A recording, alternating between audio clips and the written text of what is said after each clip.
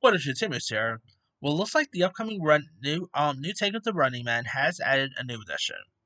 This comes from Deadline saying that uh, All American star uh, um, Daniel Ezra uh, is joining the cast of The Running Man, where he'll star alongside Glen Powell and Katy O'Brien. Edgar Wright is directing and is, of course, um, based on the uh, novel by Stephen King, which also got turned into a uh, feature with Arnold Schwarzenegger.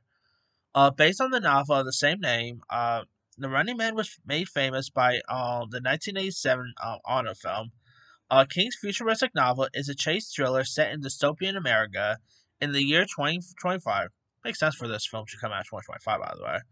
The story centers on on uh, ben, um, ben Richards, a desperate man who uh pop, who um pop, participates in uh participates in a violent reality show called The Running Man.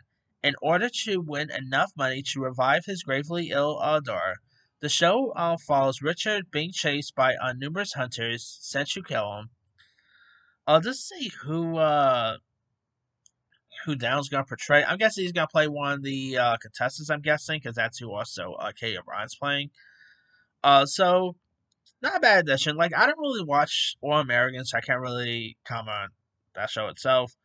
Um, but he's also his other credits includes uh stuff like Undercover, The Missing. Uh, so yeah, I guess this is pretty much gonna be his like first big break here. It's always nice to see uh you know TV stars getting their getting their big break with a film. Uh, so not a bad addition here. I mean, again, I don't know too much about him because I have not really watched All American, but I know it actually has its fans. Like it's coming into its sixth season, I believe, or fifth or whatever. I, I don't remember how many seasons there is. But hey, it's always cool seeing um you know up and comers doing uh big projects like um appearing in big projects like this.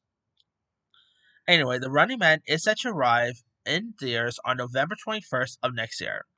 Let me let you guys, what are your thoughts on Daniel Ezra being the latest to join the Running Man? Uh, are you a fan of him on uh, All American? Do you like this latest edition? Does it make you more excited for the Running Man?